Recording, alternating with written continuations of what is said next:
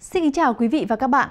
Do chịu ảnh hưởng của lưỡi áp cao lục địa suy yếu kết hợp rìa nam dạnh áp thấp nên thời tiết ở các nơi trong tỉnh phổ biến đêm có mưa vài nơi, ngày trời nắng, nên nhiệt độ và độ ẩm ít thay đổi. Nhiệt độ lúc 13 giờ trưa nay đo được tại các nơi trong tỉnh phổ biến từ 33 đến 34 độ, độ ẩm từ 60 đến 70%.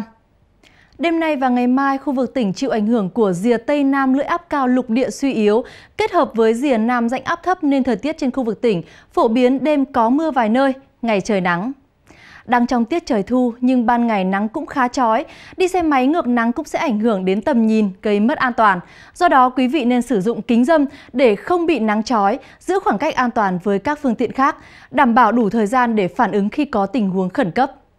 Bản tin xin được tiếp tục với thông tin thời tiết ba vùng trong tỉnh. Vùng đồi núi phía Tây, ít mây, đêm không mưa, ngày nắng, gió nhẹ, nhiệt độ từ 26 đến 34 độ. Vùng đồi Trung Du, ít mây, đêm có mưa vài nơi, ngày nắng, gió nhẹ, nhiệt độ từ 27 đến 34 độ. Vùng Đồng Bằng, ít mây, đêm không mưa, ngày nắng, gió nhẹ, nhiệt độ từ 28 đến 35 độ. Vừa rồi là những thông tin thời tiết trong ngày và dự báo cho ngày mai. Cuối bản tin như thường lệ sẽ là thông tin thời tiết 3 ngày tới.